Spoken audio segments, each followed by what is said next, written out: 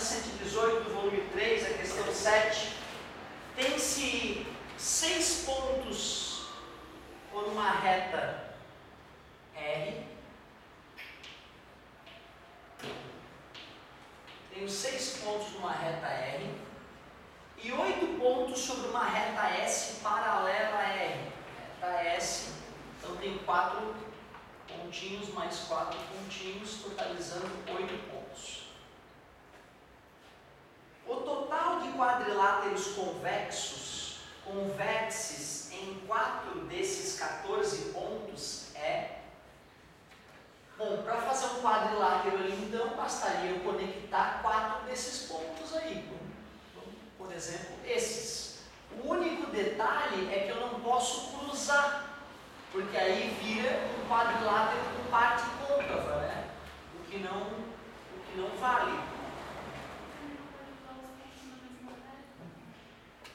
Porque não forma um quadrilátero, né?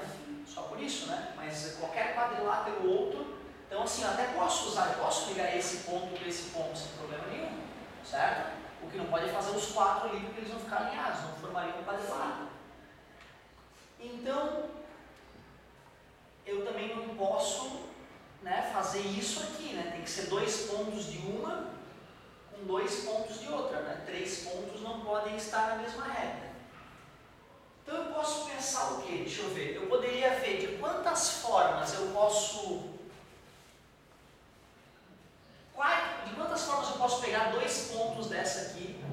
Posso pegar de repente esse com esse, posso pegar esse com aquele, poderia fazer de quantas formas eu posso agrupar dois desses pontos. Eu poderia ver de quantas formas eu posso agrupar dois daqueles pontos ali. Só que fazendo isso, eu não, eu não ainda não, não é tudo, porque eu poderia pegar aqueles dois pontos ali, eu poderia pegar os dois pontos de lá, poderia pegar os dois pontos extremos e vou conectar com outros dois caras lá. Tudo bem tudo bem. É, todos eles vão ser convexos. Então a solução talvez seja por aí.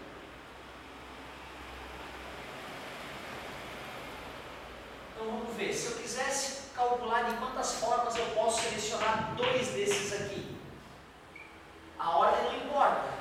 É uma combinação então de 1, 2, 3, 4, 5, 6 elementos, dos quais eu só vou querer 2. Problema. Ficaria 6 fatorial sobre 6 menos 2 fatorial, 2 fatorial. 6 vezes 5 vezes 4 fatorial, 4 fatorial, 2 fatorial. 6 vezes 5, 30, 30 dividido por 2, eu tenho 15 formas de selecionar dois pontos de cima, dois pontos quaisquer. Posso fazer o mesmo raciocínio aqui embaixo. Tenho oito pontos e dois deles vão formar os vértices dos caras. Afinal, não faz sentido ter três vértices, não porque ficariam alinhados, não seria um quadrilátero. Então ficaria 8 fatorial sobre 6, 8 menos 2 fatorial, 2 fatorial, 8 vezes 7 vezes 6 fatorial, 6 fatorial, 2 fatorial. 8 vezes 7, 58, né? dividido por 2 ainda 4, 4 vezes 7, 28.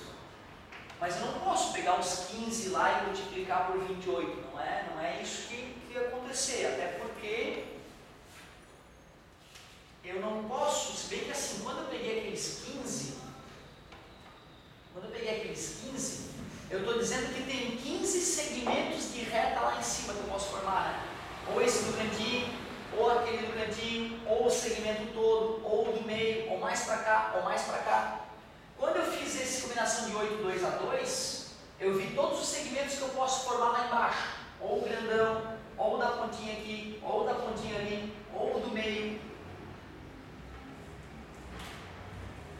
E eu vou conectar, né? Eu vou conectar esse segmento com aquele segmento pelas laterais, né? Concorda? Eu só não posso é fazer isso, né? E se eu pudesse fazer isso, teria que multiplicar por 2. Então é isso, acredito que seja isso. Teria 15 possibilidades lá de cima e 20 possibilidades de fazer segmentos lá de baixo.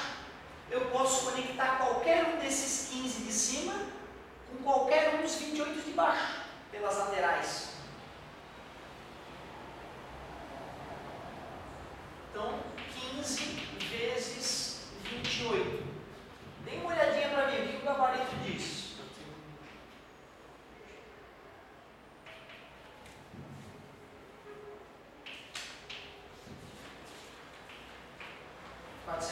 Então, fechou, achei que era mais difícil do que eu imaginava.